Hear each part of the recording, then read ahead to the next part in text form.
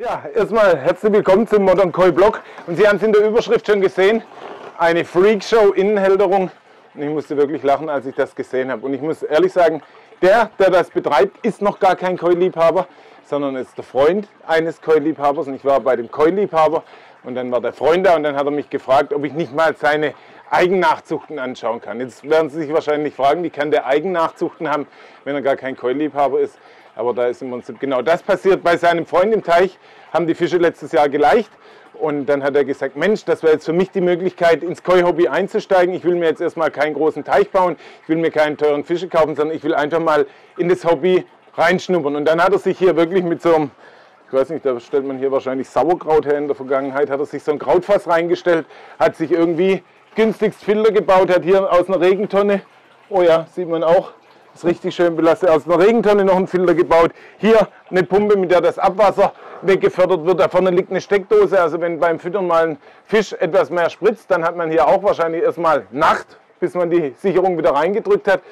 Und warum ich den Blog jetzt aufzeichne, ich will da natürlich nicht jetzt mich darüber lustig machen, habe ich natürlich schon gemacht, aber das ist natürlich witzig gemeint.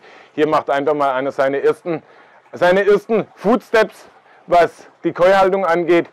Und ich muss ehrlich sagen, wir hatten vor längerer Zeit mal die Zuschauerfrage in Modern Koi und da hieß es in Eigennachzuchten ähm, stabiler, also die, die in Deutschland geboren werden, als die Japan-Koi. Und da habe ich das mal erklärt, wie das mit der Genetik ist, dass wir in Japan einfach eine künstliche Selektion haben, weil die Koi-Farmer darauf aufpassen, dass die schönsten Fische überleben und da nicht unbedingt immer die ähm, genetisch stabilsten, die physiologisch stabilsten Tiere weiterkommen, sondern dass es da eigentlich eine künstliche Geschichte ist und dass die Eigennachzuchten den Vorteil haben, dass wenn die im Teich geboren sind, dann überleben da in der Regel die Stärksten.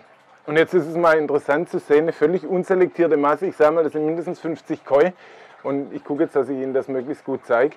Und ich muss Ihnen ehrlich sagen, ich bin gerade fürchterlich erschrocken und ich muss ja jetzt davon ausgehen, dass in dem Teich des Kunden, da sind auch von ganz vielen Züchtern sind da Fische drin, also nicht nur Konishi, dass da jetzt nicht gerade sich zwei Geschwister getroffen haben, kann auch gar nicht sein. Dafür haben wir zu viele Varietäten.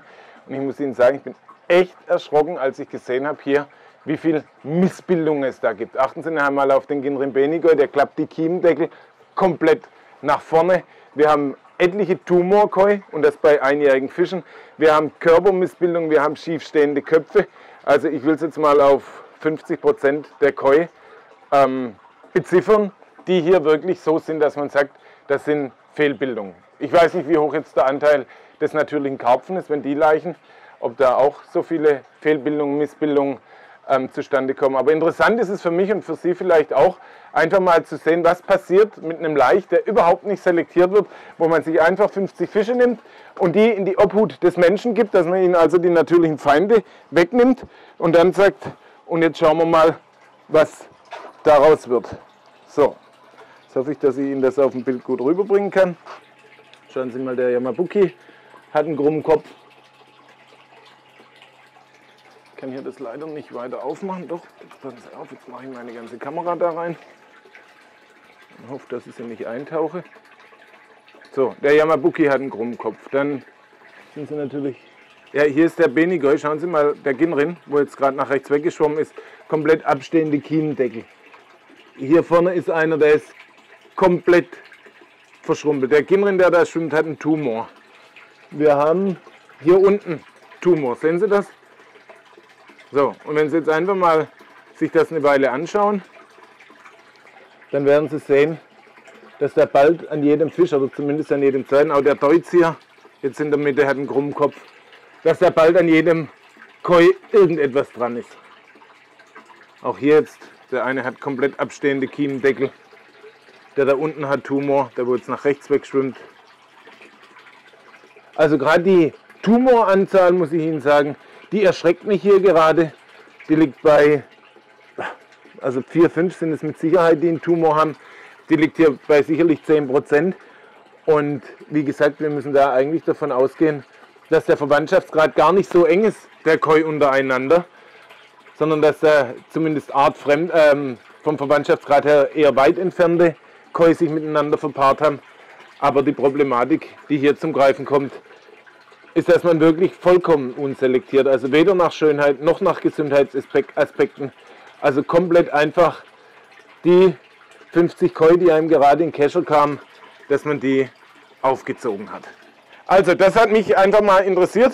Ich denke, es ist auch für Sie interessant, dass die Innenhalterung ein bisschen überbesetzt ist mittlerweile. Das muss man wahrscheinlich nicht separat erwähnen. Das sieht man. Und auch die Filter sind, wenn Sie da mal reinschauen, das ist eher schmutzig. Auch die sind eher ähm, überbelastet. Hier haben wir noch einen Oasefilter. Den trauen wir uns jetzt auch noch kurz aufzumachen. Der Screenmatic ist das, glaube ich. Und der sieht aber noch recht sauber aus. UV-Lampe ist dran. Und man muss zumindest sagen, die Keulen leiden jetzt nicht an bakteriellen Infektionen oder so.